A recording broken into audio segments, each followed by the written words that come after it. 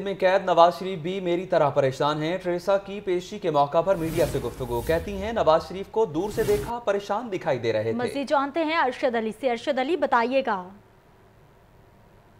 مولود ریتا جو ہے وہ منشیات کیس میں آج ایک سو آٹھویں بار جو ہے وہ سیشن عدالت میں پیش ہوئی۔ تاہم جو ہے وہ اس موقع کے اوپر کمرہ سے غیر رسمی گفتگو کرتے ہوئے مولود ریتا نے کہا کہ پاکستان کے سابق وزیر اعظم نواز شریف جو ہے وہ پور لکھپت میری جیل میں جو ہے وہ قید ہے اور اس نے یہ بھی کہا کہ نواز شریف میری طرح جو ہے وہ کافی پریشان ہے اور نواز شریف کو ایک بار جو ہے وہ دیکھا۔ تاہم جو ہے وہ کافی پریشان دکھائی دیے اور اس کے ساتھ ساتھ غیر ملکی مولود ریتا نے نئے سال کے موقع پر یہ اپنی خواہشات کا اظہار کیا کہ نیا سال میرے لیے نیک شاگون ہوگا اور نیا جو جج ہوگا وہ میرے کیس کا جلد از جلد جو ہے وہ فیصلہ کرے گا، تاہم عدالتی کاروائی کی اگر بات کریں تو عدالتی کاروائی میں آج کوئی خاص خاص پیش رفت نہیں ہو سکی۔ عدالت نے مزید کیس کی سماعت جو ہے وہ آٹھ جنوری تک کے لیے ملتوی کر دی ہے اور آئندہ سماعت پر وکلا کو حتمی بحث کے لیے طلب کر دیا ہے۔